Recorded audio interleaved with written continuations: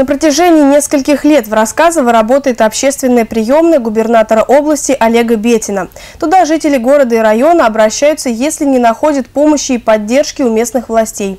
С ноября этого года у рассказовцев появится возможность пожаловаться или попросить о помощи полномочного представителя президента в Центральном федеральном округе.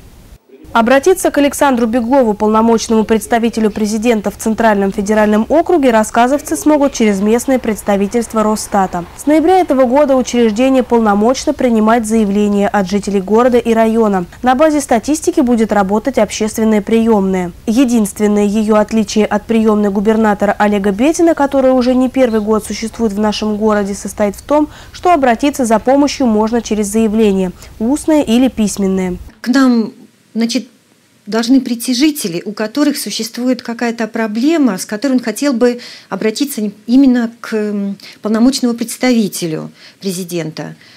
И для этого он может написать заявление, которое мы примем, зарегистрируем и передадим для рассмотрения тоже такой же общественную приемную.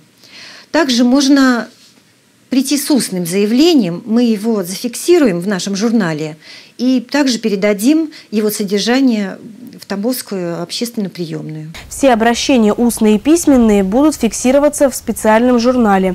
Потом, после получения ответа, специалисты отдела статистики смогут передать их адресатам или проинформировать об их получении. Задача сотрудников рассказовского отделения Росстата – собрать жалобы и просьбы населения и передать их в Тамбовскую приемную полпреда. Этот прием будет осуществляться работниками отдела статистики один раз в месяц, каждый второй вторник с 10 до 12 часов.